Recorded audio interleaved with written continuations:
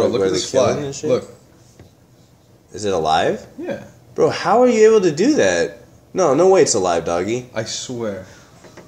It's dead. No. Holy shit, what? This alive is this fly is completely unafraid. Ladies and gentlemen, he's able to put his fingers right next to it and it's just walking away, not even flying, completely fine. He's putting his his hand completely around it, cupping it, and it's not even tripping. You picked it up. What the fuck? Put it back down. it is completely unafraid fly. What's up, dude? What the Come here, fuck? come here, That's a worthy pet. this is like the most legendary fly of all time, dude. This is a house fly. Dude. No, should fly away. Oh wow. Oh, no, it's right here. What's up, buddy? Dude, what the fuck? What the fuck, man? this doesn't make any sense. What's up?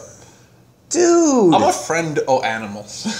I'm here too. Bella's here too. Bella's here too. I'm here, and it's chilling. It's it's just crawling around, completely able to fly. What the fuck? Can it fly? yeah. Oh, poor buddy. Poor buddy. This is It probably the. li- It lives like a day. He probably can speak English. That's like the smartest fly ever. He's like, I don't need to even trip about these niggas no more. These niggas forgot how to slap. They so fat now. oh.